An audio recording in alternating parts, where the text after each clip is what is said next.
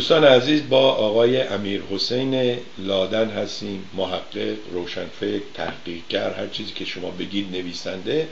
و من دیدم ایشون خودش خیلی دوست نداره این به اصطلاح چیزها رو چی میگن مقاما و اینها رو دکتر و مهندس و اینها بگیم. ما هم هر جور که ایشون راحت تره. آقای امیر حسین لادن سلام می‌کنم خدمتتون بهتون خوش آمد میگم و خیلی خوشحالم که با ما هستید. اگر می‌خواین با دوستان سلام و احوال پرسی کنید در رابطه با جریانات دو سه روز گذشته آمریکا صحبتی داشته باشید. بفرمایید اگر نه یا بعد از این میریم سراغ اون ماجرای به اصطلاح گروه نوین و اون یه دو تا چیزا شما گفتید دولت گذار براندازی اینها. سه تا چیز عنوان کرده بودید یا شاید سه تا. اونا رو بیشتر برامون توضیح بدید. این شما و این هم بینندگان و شنوندگان تلویزیون مردم بفرمایید. درود بر شما جناب سربی و سپاسگزارم از فرصتی که دادین و با درود به بینندگانتون و همیهنانمون همونطور که در پرسشتون اشاره کردیم سه تا مطلب بود و گام نخست برنامه جایگزینی بود. علت اینکه نخستین گامه بر اینکه با سرنگونی حکومت خودکامه جمهوری اسلامی مشکلات کشور به خودی خود برطرف نمیشه. گام دوم دولت گذار بود. زیرا ما نمی‌خواهیم که حرکتمون به کجراه کشیده بشه و از چاله به چاه سقوط کنیم. این دو برنامه یعنی جایگزینی و دولت گذار رو در دیدار پیش در موردش گفتگو کردیم.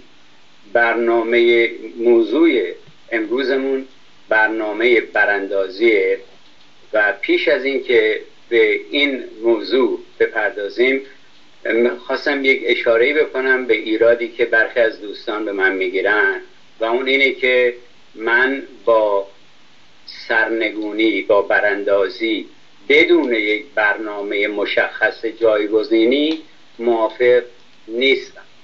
هممون می‌دونیم که با سرنگونی یک حکومت خودکامه دیکتاتوری مشکلات قیبشون نمی‌زنه.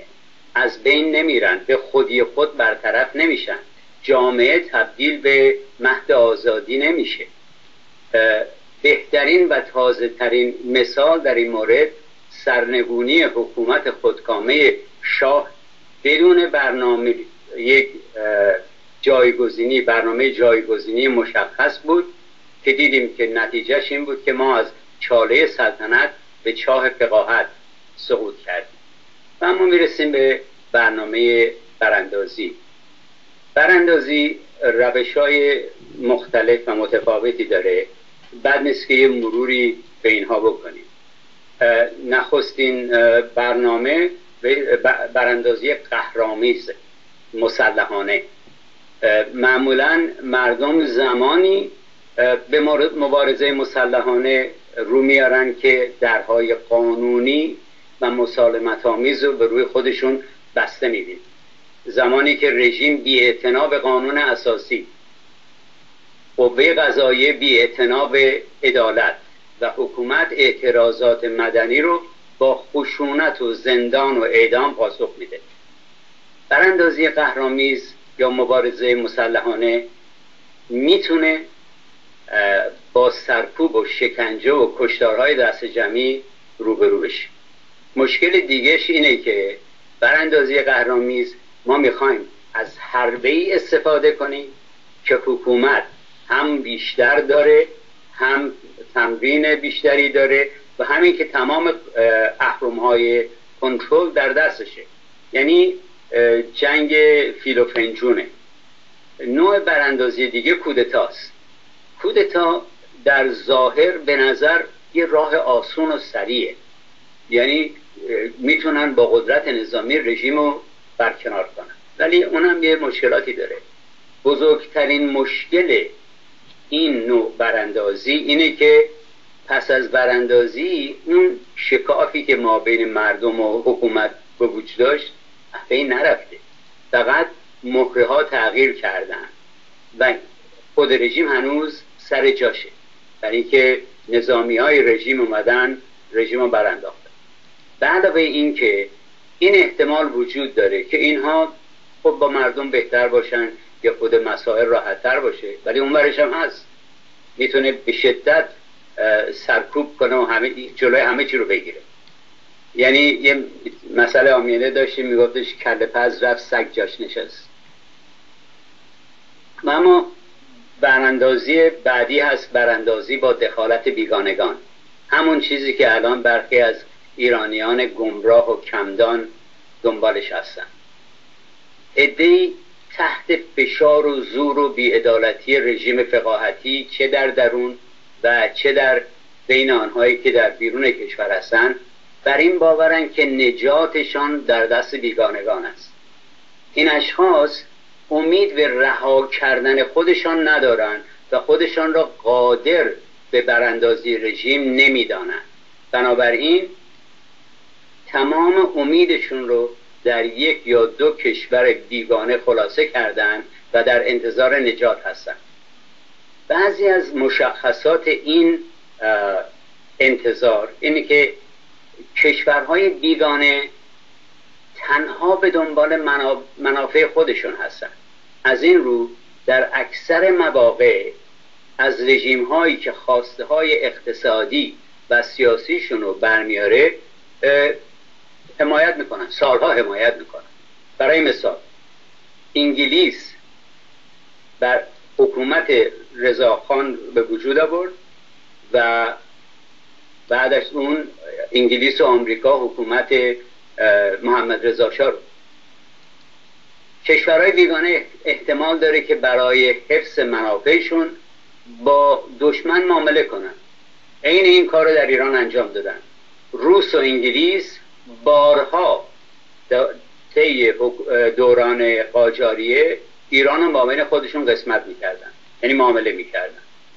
و بعدها در زمان که ایران نفت و ملی کرد انگلیس و آمریکا گفت من نصف چیزها رو میدم به تو منافع میدم به تو بیا با همدیگه سرنگون کنیم. اومدن سرنگون کردن و همونطور که می‌دونیم 25 سال به قارت ادامه دادن. یکی دیگه از مشکلات براندازی به وسیله بیگانگان اینه که کشور بیگانه ممکنه که تصمیم بگیری که خودش کنترل ها رو مستقیما یا از طرف عواملش در دست بگیره.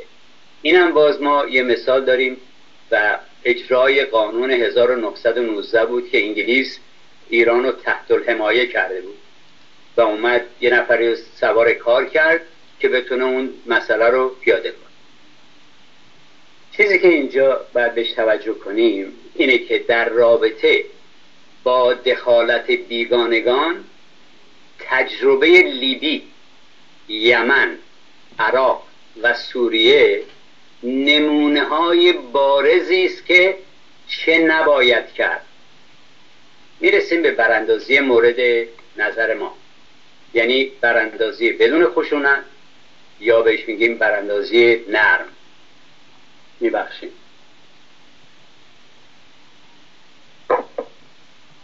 این نوع براندازی بسیار دشواره. ولی باید بدونیم و باید باور داشته باشیم که یک گروه اینو مجبورم بخونم براتون. یک گروه کوچک مصمم همپیمان که تشنه دستیابی به عدالت و آزادی است می‌تواند مسیر تاریخ را عوض کنه. امیدوارم این برای ما ملکه بشه. باز دوباره یک گروه کوچک مصمم همپیمان که تشنه دستیابی به آزادی و عدالت است می‌تواند مسیر تاریخ را عوض کند. در این در براندازی نرم یک حقیقت را نیز باید بپذیریم. و آن نیاز به تلاش پیوسته و خستگی ناپذیره. من یادمه که مثال آمیانه داشتیم می‌گفتن اگه فیلم خواهی و جور هندوستانم بکشید یا اون شعری که تو دبستان میخوندیم نابرد رنج گنج میسر نمی شود یعنی در این راستا مردم در این راستا که باید زحمت بکشن مردم چند تا چیز باید بدونن. باید بدونن که صاحبان اصلی ایران هستند باید بدونن که تمام ثروت های کشور مال آنها و متعلق به آنهاست. مردم باید بدونن که ایران متعلق به شاه یا امام نیست. متعلق به دربار یا روحانیت نیست. متعلق به هزار فامیل یا زالوهایی که بهش میگن آقازاده نیست. متعلق به همه مردم ایرانه. این جنبش یا این حرکتی که داریم در موردش صحبت می‌کنیم چیه؟ مردم نیاز دارن بدونن که هدف گرفتن حق و حقوقشان است. باید بدونن که هدف تقسیم عادلانه ثروت بین مردمه. باید بدونن که تحصیلات از کودکسرا تا دانشگاه حق همه فرزندانشون باید بدونن که بهداشت و بیمه عمر حق تمام افراد جامعه است. مال فقط کسانی که پول دارن نیست. مردم باید بدونن که داشتن مسکن مناسب حق هر ایرانی است. در زمینی که مردم باید با وظایف دولت یعنی دولت تولید کار با درآمد کافی در سراسر ایران بالا بردن سطح زندگی کارگران کارمندان و کشاورزان و از میان برداشتن شکاف مالی و طبقاتی و برقراری عدالت اجتماعی و اقتصادی. می‌رسیم به نقش و, نقش و مسئولیت مردم در براندازی نرم. مردم باید آمادگی داشته باشند که طبق اطلاع قبلی روز معین در خانه ها بمانند. باز دوباره طبق اطلاعات قبلی در روز معین از وسایل نقلیه استفاده نکنند. در روز اعلام شده دانشجویان این داریم مثال می‌زنیم. دانشجویان و دانش آموزان مدارس رو تعطیل کنند. یه روز معینی که اعلام میشه کارگران سر کار نروند و حرکات مدنی دیگر. تجربه نشون داده. این در چندین کشور چیزش وجود داره آمارش وجود داره که تعداد شرکت کنندگان با هر حرکتی افزایش پیدا می‌کنه. و این خیلی جالبه. ما اینو شبیهش رو در ایران در انقلاب 57 دیدیم که وقتی اعتراضات شروع شد 500 نفر هزار نفر 5000 نفر میمدن در انتها رسیده بود به یه میلیون دو میلیون. و اما پیروزی این حرکت این نوع حرکات مدنی اینی که باور داشته باشیم که این اهداف این اهداف باور داشته باشیم. در راهی که میریم استوار باشیم و بدونیم که داریم دنبال حق و حقوقمون میریم رژیم فاسد حکومتی تا زمانی پا برجاست که ما تسلیم باشیم و بوستنبار بریم به طرف سلاخونه.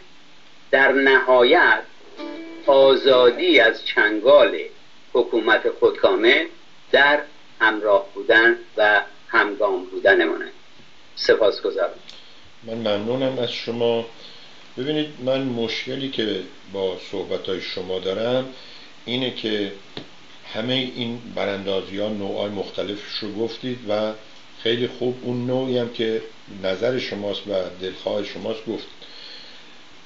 موضوع من اینه که چجوری شما می‌خواین عمل کنید؟ چون شما باز اینجا گفتید که وظائف عبارت هستند از اون یک دو سه که برنامه جایگزینی بود دولت گذار بود و این. اولا وقتی شما میگید وظایف یعنی این سازمان حالا همش هم منظورم به ثبت رسیدن نیست. یه جایی شروع شده چند نفر دور هم جمع شدن. اینجا بهشون میگن grass root organization. اوباما از به اصطلاح ارگانیز کردن کامیونیتی ها به رئیس جمهوری رسید. من اونو نمی‌بینم. یا اگر شما هستید یه جایی فکر می‌کنم صداتون ضعیفه. امروز باز داشتم این برنامه این هیتلر آخرش کار دست من میده. این کتاب گویای هیتلر یا نبرد هیتلر رو گوش می‌دادم و خیلی جالب می‌گفت. می‌گفت که نوشته ها و کتاب ها به مغز مردم میره ولی صحبت ها و ویدیوها و آدیو و رادیو و اینها به قلب مردم میره. و ما اینجا می‌بینیم که مثلا ترامپ با صحبت کردن موفق شده. و هیچ شما هیچ رهبری رو نمی‌تونید نشون بدید که اینو برای شما فکر کنم فرستادم. تو فصل اولش بود. هیچ رهبری رو من نشون بدید که از نوشتن و پخش کردن بله وقتی که بیچاره میمیره و از دنیا میره بعد یه سری ایزمی دنبالش میفتن را میفتن نمی‌دونم کتاباش رو پخش می‌کنن کتاباش رو می‌خونن. ولی اونایی که رهبر میشن یه کاری انجام میدن با صحبت کردن با مردم. و اونا هم هر روزی به فراخور زمانش. اگر یه زمانی رادیو بوده اگر یه زمانی میدونهای شهر بوده اونجوری استفاده کردن. اولا شما به من بگید که واقعا شما یه grassroots organization هستید. این کجاست؟ چجوری دور هم جمع میشین؟ میتینگاتون مثلا مثل این چیزی که روی اینترنت جمع میشن. GoToMeeting یه چیز اینجوریه که بی نهایت می‌تونه مثل اتاقای پلتاک قبلی یا اینها.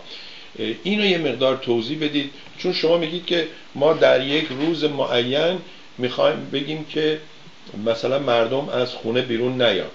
خب این همون صحبتی که این تیمسار روحانی هم می‌کرد. حالا اون یه کمی میگو که بیان بیرون نگاه این ور بکنن نگاه اون ور بکنن یعنی همسایه هم دیگر ببینن دوباره برن تو. یا اون صحبتی که اون هسته آقای دکتر فروتن الان سالهای سال داره هسته جمع می‌کنه و هسته میکاره ولی هیچ محصولی هنوز درست نشده. انجام میده. یه روز میگه پول خوردهاتون رو جمع کنید تا دولت ورشکست کنید یکی دیگه میاد میگه چراغاتون رو روشن کنید که ژنراتورها و برقا و اینها بسوزه. میگم مرد حسابی اصلا نشون میده تو از ایران خبر نداری. مردم از قطع شدن ناراحتن. از گرما بچهشون بدون کولر نمی‌دونن چه کار کنه. و تو میگی برقا هم بسوزونن. همین چهار تا ژنراتور شلخته ای هم که هست اینا رو هم از بین ببرن.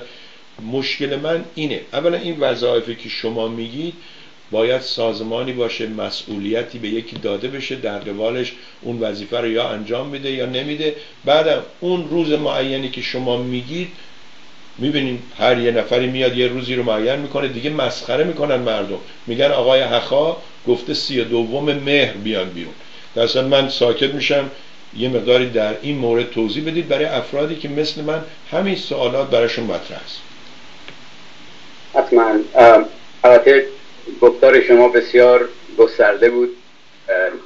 همه مسائل در ذهن پیر من باقی نمیمونه که بتونم یکی یکی پاسخ بدم. ولی اصل مطلب اینجاست که تصور بر این بود که یک سازمانی وجود داره و می‌خواد اون سازمان برای دیگران نسخه بنویسه. چنین چیزی نیست. صحبتی که داریم می‌کنیم اینه که اگه خاطرتون باشه توی دیدار گذشته گفتیم میبایستی.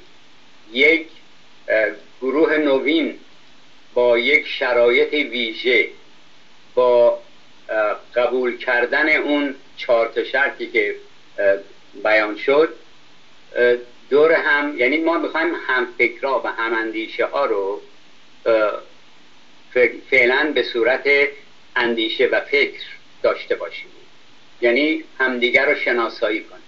بدونیم که این تصویری رو که من دارم اینجا می‌کشم آیا این تصویر خریدار داره؟ آیا کسانی هستن که با این چهار تا مسئله با این چهار تا شرط موافق هستن؟ این اشخاص هم دیگر رو پیدا کنن. من تصورم بر اینه که داریم درباره یک عده قابل توجهی صحبت می‌کنیم.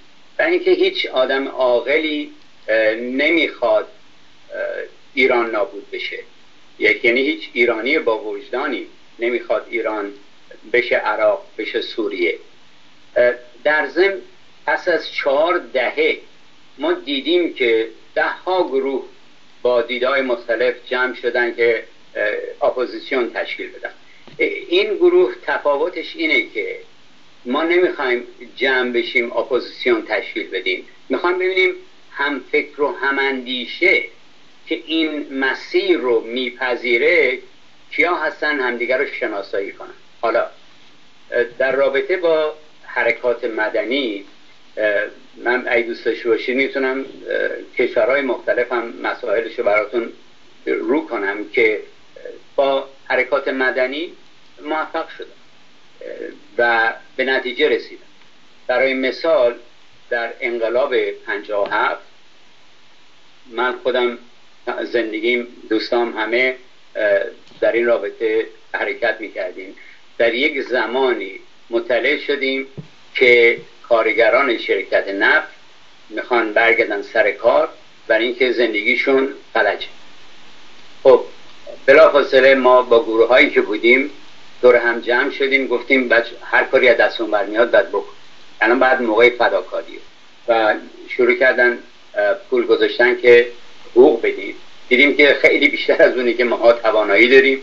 ما ما هممون یه جوانای طبقه متوسط تو اداره و تو جای مختلف کار می‌کردیم و من با چند تا از کسانی که با جلسات مخفی چند سال تو ایران داشتم تماس گرفتم و اونا شبانه یه عده تاجر پول آوردن و ما یه لیست تشکیل داشتیم. و حقوق کارگرا رو تونستیم در ظرف دو سه روز تعمین کنیم و چند تا دانشجو داوطلب شدن با ماشین رفتن به خوزستان و این حقوقا رو پرداخت کردن و این اشخاص تونستن در اعتصاب باقی بمونن. منظورم از بازگو کردن این اینه که وقتی شما چون اولش گفتم گفتم این براندازی بسیار مشکله و نیاز به این داره که ما با هم باشیم. این یکی از اون چیزاست. اینی که در یک ما نمیگیم الان میایم از آمریکا اعلام می‌کنیم که چه روزی مردم سر کار نرن. نه. زمانی که این برنامه شروع میشه من الان خدمتتون قبلا اینو گفتم. من اگر محکوم به اعدام نبودم تو ایران فردا می‌رفتم ایران. ولی با محکوم بودن به اعدام روزی که ما بدونیم که می‌خوایم مسائل رو شروع کنیم من حتما به امثالی مثل من نه من به تنهایی خیلی ها مثل من برمیگردن ایران. همونطوری که تو انقلاب 57 هزاران ایرانی برگشتن ایران. یعنی باید بریم و این حرکت رو انجام بدیم. برای کسی نسخه نمی نویسیم سر گودم با نمیسیم میگه بلنگش کن. یک چیزیه که ما الان باید تشخیص بدیم که هیچ راهی یعنی برای نجات خودمون برای رهایی میهنمون راهی جز این مسئله نیست. و اون شق مسئله که بیگانگان بیان حمله کنن من با اونها خواهم جنگید. بسیار ممنونم. دوستان عزیز اگر در مورد صحبت های آقای امیر حسین لادن پرسشی دارید یا نظری دارید یا با خودشون مستقیما تماس بگیرید یا فیسبوک یا وبسایتشون اندیشکده دات نت یا اگر مشکلی دارید در اسپل و هجی و اینها کلی وقت بود کلمه هجی رو نگفته بودم حالا یادم افتاد. با من تماس بگیرید من ترتیب این ارتباط رو میدم یا پیام بذارید روی این شماره تلفنی که الان بهتون نشون میدم. اینجا 202 695 25 73 یا تکس بفرستید تا ایشون یا دوستان و همکاران با شما تماس بگیرن یا نظرات شما رو در برنامه های آینده بگن یا پرسشاتون رو پاسخ بدن. پس میشه گفت این سازمانی که شما گفتید همینجوری که نوین هست جدید هست در مراحل یارگیری هست. اینی که بفهمین کی با ما هم فکره و بیاد با ما یاری کنه هم یاری کنه و اینها خود این میشه همون ریکروت کردن جمع آوری همراهان. شما دیدم از کلمه همگام استفاده می‌کنید. من خیلی ممنونم که این رو به منم میگید. درصد ممنونم. اگه صحبت دیگه ای هم هست بفرمایید. نظرتون راجع به این صحبت های روحانی و ببخشید شما میگید که من خیلی مطالب رو پشت سر هم میگم و از شما عوض می‌خوام. بعض وقتا همینجوری فلبداهه میاد. سه چهار روز گذشته بعد از اون ماجرایی که روحانی گفته بود دوستی ما با دوستی آمریکا می‌تونه مادر همه دوستی ها باشه. بلا فاصله پشتش هم نوشته بود دشمنی و جنگ هم می‌تونه مادر همه جنگ ها باشه. این آقای ترامپ هم که هم سواد درست حسابی نداره دلش خوشه که باباش پول داده از یه دانشگاه مدرک گرفته براش. اینم با کپتال با حروف بزرگ نوشته بود که من چنین می‌کنم و چنان می‌کنم. بعد دو روز بعدش دوشنبه یه مصاحبه که داشت توی اون مصاحبه گفت که نه من حاضرم بدون هیچ پیش شرطی با ایران مذاکره کنم. نظر شما چیه؟ مثل دوستانی هستید که به اصطلاح طرفدار مذاکره هستید یا همین الان آقای فرخ سپر نوشته تنها ره رهایی جنگ مسلحانه و به دست مردم. من برم خیلی جالبه. این دوستان وقتی جنگ و اینا هست خودشونو جز مردم نمی‌دونن.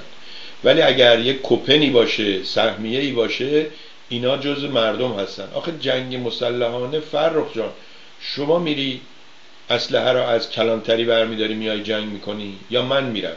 که هر کدوم صبح با ده تا ببخشید ببخشید. من شما رو نگه داشتم. شما درباره این چند روز گذشته به قول معروف ایران US Current Affair بفرمایید که نظرتون چی حتما. درجه نخست باید نگاه کنیم که ملاها وقتی برسه به جایی که احساس خطر می‌کنن با شیطان و ابلیس هم که ادعا می‌کنن مخالفن حتما حتما هم خوابه میشن. این من تردیدی درش ندارم. از طرف دیگه خود ترامپ شما گفتین یه آدم نادان در زن ترامپ عین عین آخونده است اون اونم حرف علکی زیاد می‌زنه دروغ مرتب میگه و اونم اهل بخیه است و هدفش پول و ثروت و بازار فروش اسلحه و غیر است اونم اهل معامله و بخیه است. و همینجور که دیدین اطرافیانش هم تحویل نمی‌گیره. یعنی به موقعش ممکنه همین آقای اون سگ هار و آقای بولتون رو بندازه بیرون. پس از یک طرف خطر نابودی و حمله وجود داره. از یک طرف خطر معامله بین این دوتا. از خطر معامله از اینه که ما به اون هدف نهایی نمی‌رسیم. برای اینکه این دوتا با هم دیگه مذاکره کنن و با هم کنار بیان احتمال داره که با عدم وجود تحریم یه خورده مردم یه نفسی بکشن و منم موافقم که مردممون راحت باشن. برعکس یکی از بینندگان شما نوشته بود که فلانی منو می‌گفت که دست خودش رو کرده می‌خواد مردم ایران رو به کشتن بده. من نمی‌دونم ایشون اینو از کجا در آورده بود برای اینکه من اصلا بارها گفتم من برای هیچ کس نه نسخه می نویسم و نه اینکه سر گود و میسم لنگ بگم لنگش کن. مثل این دوستی که الان به شما تکس کردن که بریم تنها راه رهایی جنگ مسلحانه است. من اولا با اون مخالف هستم. و اگرم جنگ مسلحانه است این آقایی که اینو گفتن اول باید خودشون برن تهران با هم با گروهشون و خانوادهشون بعد چنین حرفی ضمن اونایی که جنگ مسلحانه می‌کنن بعد اسلحه دستشونه اسلحه های بیشتری می‌گیرن با همون اسلحه حکومت می‌کنن. این همیشه بوده و هست. خانم معصومه مهاجر که ایشون مادر آقای زرابی هم هست نوشتن که من یک سوال دارم. یک حرکت که بدون رهبری موفق شده به ما نشان دهید که کجا. آقای مالک یا ملک هم میگه که یا آقای مالکی داشتیم اینجا. آقای مالک میگه که کار ما خیلی خراب است همون گفته خودتان. بدبختی اینجاست که درست شدنی هم نیست. من هم این سوال خانم مهاجر رو دارم. ما اشکالمون اول از هر چیزی نبود رهبره. نبود کسی که بیاد جلو بگه من می‌خوام رهبر بشم. یه دلیلی که این ترامپ موفق شده برای که گفت من می‌خوام رئیس جمهور بشم. مال ما همشون میگن ما نمی‌خوایم کاری بشیم. ما نمی... خب نمی‌خوای پس میشه هیچی دیگه. طرف میگه آقا این که نمی‌خواد من برم بگیرم کلیدو بدم دستش. این که خودش الان میگه من نمی‌خوام. شما درباره نبود رهبر یا کمبود رهبر فقدان رهبر چی فکر می‌کنید؟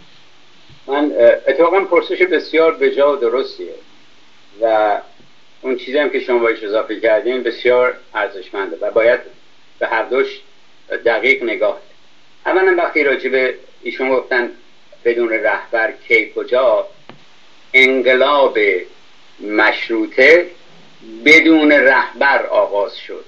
انقلاب پنجاه هفت بدون رهبر آغاز شد. انقلاب به وسیله یه نفر به وجود نمیاد. به وسیله ادهی در جاهای متفاوت حتی همدیگر هم نمی‌شناسن. ادهی ناراضی ادهی هماندیش ادهی همفکر شروع می‌کنن و حتی میگن که در اوج انقلاب 57 کمتر از دو درصد مردم در انقلاب شرکت داشتن. وقتی شروع میشه صفر مایه صفر صفر صفر صفر دو شروع میشه. و بنابراین حساب رهبری اصلا نیست. حساب سازمانه حساب گروهه حساب وجود داشتن برنامه است. اون چیزی که ما داریم دربارهش گفتگو می‌کنیم. و شما در جای اشاره کردین که چه کسی با نوشتن کتاب. من حسابی آقا من اگه کتاب نوشتم یا مقاله نوشتم اون الان رفتی به گفتگوی امروزمون نداره و چیز منفی نیست. اوناست که آدم رو راهنمایی می‌کنه. ولی داریم یک دو سه داریم دربارش گفتگو می‌کنیم که میگیم چه گام هایی رو برداشت. چه کسانی می‌تونن در این گام ها شرکت کنن؟ یعنی سرباز منظور سربازگیری نیست. منظور اینه که هماندیش ها هم ها با هم باشن. بعد در مورد اینکه ما چرا رهبری انتخاب نمیشه چرا رهبر نیست نمی‌دونم. اینو خاطرتون هست که مصدق به ایراد می‌گرفتن که چرا حزب درست نمیکن مصدق بالاخره اقرار کرد. و برای اینکه ایرونی ها همه می‌خوان رهبر باشن. ما حزب درست کنیم. اگر این صد نفری که دنبال هم هستیم اون گروه مرکزی پنج نفر باشه 95 نفر دیگه قرار می‌کنن و واقعا تشخیص داده بود که ما مشکل فرهنگیمون در این مورد چیه. نمی‌دونم داستان حسین مکی و مسافرت مصدق به آمریکا رفتن به سازمان ملل خاطرتون هست؟ یه چیزایی شنیدم بله. شما فکر کنم خیلی این به نظر من خیلی جالب. بله. خب حسین مکی یک یار نزدیک مصدق و جبهه ملیه. رفته خوزستان برای بررسی فکر کنم یه پروژه شرکت نفت و مصدق که قرار بوده بره آمریکا. حسین مکی جز گروهی بوده که بعد با مصدق می‌رفته. همسر مصدق میاد و دست به دامن مصدق میشه چون که دامادش اومده بوده که با دخترش که آره من می‌خوام برم. مصدق هم در این مورد به نظر من ضعف نشون میده و قبول می‌کنه ایشون بره و به حسین مکی میگه شما نرید. این میشه آغاز ناراحتی و انشعاب حسین مکی از جبهه ملی و مصدق و اینا. به نظر من در ضمنی که اگر حق حقوقی هم ایشون داره آقای حسین مکی ولی اینی که ما با هم دیگه قرار کنیم که چرا منو نمی‌بری این واقعا خودخواهیه. ما این مشکل هم داریم بسیار ممنون. خب شما هم خیلی به اصطلاح بحث های مختلف کردید. بذارید من اینجا یادداشت کردم. شما درباره انقلاب مشروطه گفتید که بدون رهبر شروع شد. خب من نبودم و تاریخچشم دقیق نمی‌دونم. روایات خیلی مختلفه. ولی انقلاب 57 رو قبول ندارم. شما میگید بدون رهبر آغاز شد. اولا هیچ آمار و ارقام صحیحی نیست. ولی منی که توی ارتش بودم و منی که توی نیروی اون مخصوص به اصطلاح حکومت نظامی بودم و شبنامه ها می اومد اونجا می‌دیدم. چون من دیدم خیلی از این دوستان توی رادیو تلویزیون میگن آقا هیچ کس خمینی رو نمیشناخت. میگم آقا من از 1968 خمینی رو شناختم. توسط یکی از افرادی که نوارش گوش می‌داد. و چجوری شماها خودتون فعال سیاسی می‌دونید و میگید تا آخر انقلاب کسی خمینی رو نمیشناخت؟ خمینی رهبریت این انقلاب از خیلی پیش گرفته بود دست خودش. خمینی و یارانش این آقای رفسنجانی و دیگران که در فلسطین و این ور دوره دیده بودن اینا با برنامه اومدن جلو. حالا اگر بعضیا میگن تا روزای آخرم دو درصد بیشتر نبودن اینها اینا رو به نظر من بذارید پای همون آمار و ارقامی که میگن نمی‌دونم فلسطینیا اومدن تو میدون ژال تیراندازی کردن. میگن که اجنبی ها اومدن کشور ما رو گرفتن. به نظر من اینا خیلی منسجم خیلی با برنامه و رهبریت هم داشتن. جالب اینه که اینا پایگاه داشتن. مشکل ما یکی نبود رهبریت یکی پایگاه نداریم. اینا پایگاهشون مسجدا بود. ضمن شما چون اسم دکتر مصدق را آوردید به همین دلیلی که دکتر مصدقم گفت اگه من حزب درست کنم همه می‌خوان رهبر بشن و چون رهبری نبود جنبش دکتر مصدق هم یه چیزی درست کردن. جبهه ملی خیلی ویگ باز هیچ نمی‌دونست چی کار باید بکنه و جبهه ملی هم امتحانش پس داده. هر جا که باید می اومده منسجم بمونه تک تک شدن رفتن این ور در این بحث خوبیه باید بحث در مورد زیادتر بشه. دوستان هم اگه می‌خوان می‌تونن در این بحث و گفتگوها شرکت کنن. شنیدم که شما در رادیو مانی صحبت کردید با یکی از طرفداران ترامپ. اگه لطف کنید اون لینک رو برای من بفرستید من در همین قسمت فیسبوک می‌ذارم تا دوستان هم ببینن و بالاخره وقتی با کسی که طرفدار ترامپ هست مذاکره می‌کنید فکر می‌کنید سودبخش این صحبت و گفتگوها و مناظره ها یا تلف کردن وقت؟ من اجازه بدین که این پرسش آخرتون رو بعدا بدم ولی یعنی پس از این قسمت اول. چون من با برداشت شما از اینکه خمینی رهبر انقلاب بود زاویه دارم. اولا که شما 1968 رو گفتیم انقلاب 57 ریشش در 1953 است. یعنی در کودتای 28 مرداد و 25 سال اشخاص مختلف با دیدهای مختلف تلاش کردند و ما رسیدیم به انقلاب. دوم حرکت ضد حکومت زمانی شکوفا شد که هنوز خمینی در عراق بود. خیلی هم میشناختنش. اینی که بگن نه خمینی نمیشناختیم اینا بیهوده است. خمینی حق امام می‌گرفت. اطرافیان باش رفت آمد داشتن طرفدارانش فعال بودن زندان بودن. ولی هیچ گونه رهبری انقلاب نداشت. انقلاب هنوز حالت مردمی و گروه های متفاوت و اشخاص مختلف بودن و اون اوجش حزب پیدایش حزب رستاخیز خود من شخصا از اون روز زندگی ما همه رو تعطیل کردم و شدم به قول اینا فول تایم revolutionary یک انقلابی تمام وقت.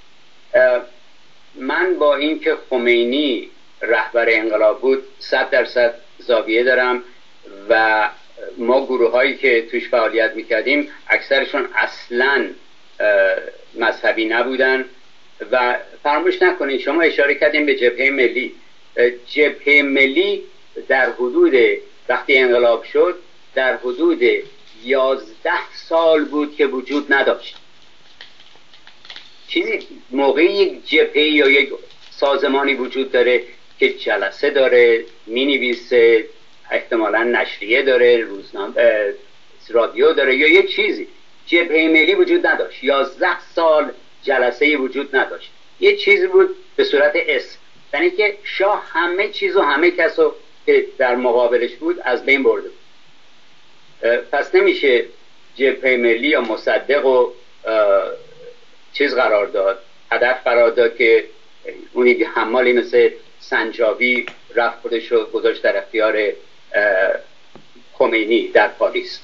اون باز دوباره اینه که اشخاصی که اعتقاد ندارن به خودشون اطمینان ندارن. نیاز دارن که بندناف رو به جا وصل کنن. و اما برگردیم اگه می‌خوایم عوض کنم موضوع رو بریم به پرسشتون در مورد رادیو تلویزیون مانی. بفرم اجازه بدید من اینو بگم که به قول معروف من دستا بالا در رابطه با 1953 و 25 سال گذشت 1978 اون اتفاق افتاد انقلاب 1357 آقای برنی سندرز هم دقیقا حرف شما رو می‌زنه و این درسته. اصلا بر اساس تاریخ و اسناد این درسته که تخم انقلاب در اون ماجرای 1953 یا 1332 ایرانی کاشته شد و حاصلش هم 25 سال بعد اون بود که دیدیم. خیلی ممنون. بریم برای اون ماجرای رادیو مانی. اگه لینکی دارید یا نظرتون رو بگید که صحبت ها بله. این که میپسند اولا سپاسگزارم که انقدر بزرگواریم که مسئله رو اونطوری بیان کردیم و پذیرفتیم ببینیم این شخص حالا من لینکشو میفرستم مردم خودشون قضاوت کنن.